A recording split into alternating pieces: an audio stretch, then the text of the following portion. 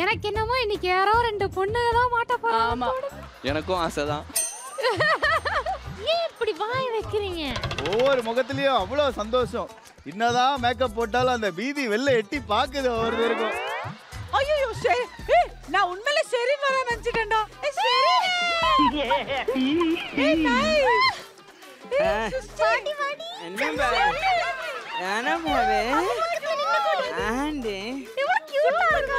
பொதுவாகவே இந்த மாதிரி ஒரு எலிமினேஷன் வீக் அப்படின்னாலே வந்து உங்க மனநிலை எப்படி இருக்கு?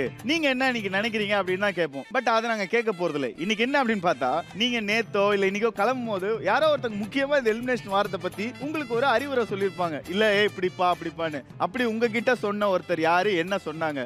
லெட்ஸ் கோ வித் ஆண்ட்ரியன் என்ஜாய் பண்ணு. இதுதான் மெயின் இங்க வந்து என்ஜாய் பண்ணி வரணும். ஸோ நம்ம ரொம்ப ஸ்ட்ரெஸ் இருக்கக்கூடாது பிகாஸ் ஃபியூ டைம்ஸ் நான் இந்த ஸ்ட்ரெஸ்ஸில் சமைச்சின்னு இருந்தால் இங்கே என்ன நடக்குது நான் அதில் கொனெக்ட் பண்ண முடியாது. நடக்குதுன்னா நடக்கட்டும். வேறு வழி இல்லை. ஸோ இதுதான். விஷால் அண்ணே. வீட்ல அம்மா என்ன சொன்னாங்க? எங்க அம்மா இப்ப எதுவும் சொல்றது இல்ல என்ன ஒரு செஃபா முடிவு பண்ணிட்டாங்கன்னு நினைக்கிறேன். மத்தியானம் நீ சமைச்சிரியாப்பான்னு கேக்குறாங்க. இப்பெல்லாம் கால் பண்ணி. அப்படியா? ஆமா. நான் ஒண்ணுமே பண்ணல. பண்ணலன்னு பண்ணிடுறேன் ஆமா இதுல இன்னொரு ஆச்சரியம் என்னன்னா இன்னைக்கு காலைல எங்க அப்பா தான் நான் ஷூட்டிங் கிளம்பும் போது வந்து கதவுலாம் லாக் பண்றாரு. இந்த எக்ஸாமுக்குலாம் போகும்போது கூட எங்க அப்பா நிறைய வாட்டி நான் வாண்டடா போய் எங்க அப்பா ஆசீர்வாதம்லாம் வாங்கலாம் அந்த மாதிரி பப்ளிக் அவர் பாட்டு தூங்கிட்டு சீக்கிரம் கூப்பிட வரணுமாப்பா நானு? இல்ல நீயா வந்துருவியா? இப்படிதான் கேட்பாரு. இன்னைக்கு என்ன ஆச்சுன்னே தெரியல. கதவு ஆல் த பெஸ்ட் பா அதுவே எனக்கு ஒரு பக்குன்னு இருந்தது இத்தனை வருஷமா ஆல் த பெஸ்ட் சொல்லாதவர் இன்னைக்கு சொல்லியிருக்காரு. நல்லா தான் நடக்கணும். அப்ப இன்னைக்கு ஏதோ தரமா பண்ண போறியே. ஒண்ணு தரமா. புதுசு புதுசா வார்த்தை கண்டுபிடிச்சிட்டு வரா தரமா பண்ண போறேன் என்னைக்கு மட்டும் நான் எலிமினேஷன் ஆனேன்னா இவ தான் காரணம். ஆமா இவர் என்ன ரொம்ப நேரமா ஜாலியா பாத்துட்டு இருக்கீங்க. சரி அழக ரசிச்சுக்கிட்டு இருக்கேன்டா. சுஷ்டி உங்க அம்மா என்ன சொன்னாங்க? அவங்க அம்மா என்ன சொன்னாங்க? புகழ திட்டு வேணும்னு சொன்னாங்க. அம்மா சொன்னாங்க ஃபர்ஸ்ட் மெயின் திங் புகழ்கிட்ட சண்டை போடாத. ஏன்? லாங்குவேஜ் புரியாது என் அம்மாக்கு. பட் புகழ் பிடிக்கும். எங்க அம்மாக்கு அப்படியேதான் மை மாம் இஸ் பிக் புகர் ஃபேன் ஸ்வீட்டா கேளு பண்ணிருவா ஆ. எல்லாம் வை வைத்திங் ஆயிடும்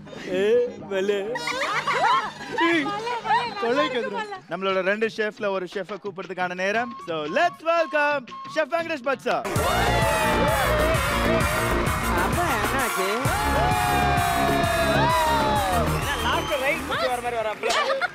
ஷெஃப் நீங்க வந்துட்டீங்க.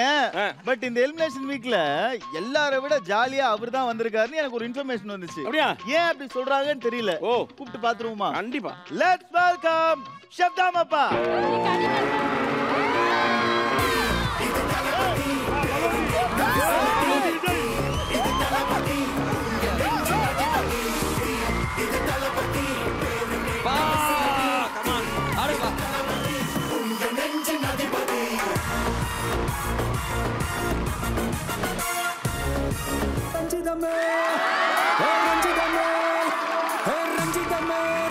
அப்பா இப்படி இப்படி. நடந்து போலாம். கேமரா.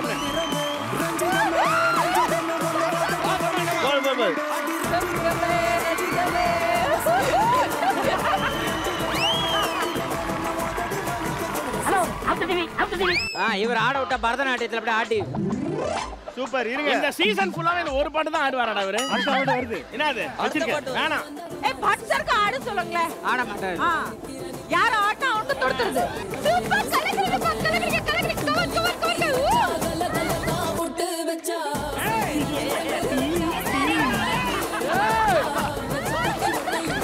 எல்லாத்துக்கும் ஓகே இந்த கத்தி சாண பிடிக்கிற மாதிரி ஒரு ஸ்டெப் பண்றாரு. அது என்னது? டேய் குரேஷி உன்னால இப்படி ஒரு மூவ்மெண்ட் போட முடியுமாடா? என்னால இல்ல இந்தியால யாராலையும் இப்படி ஒரு மூமெண்ட் போட முடியாது.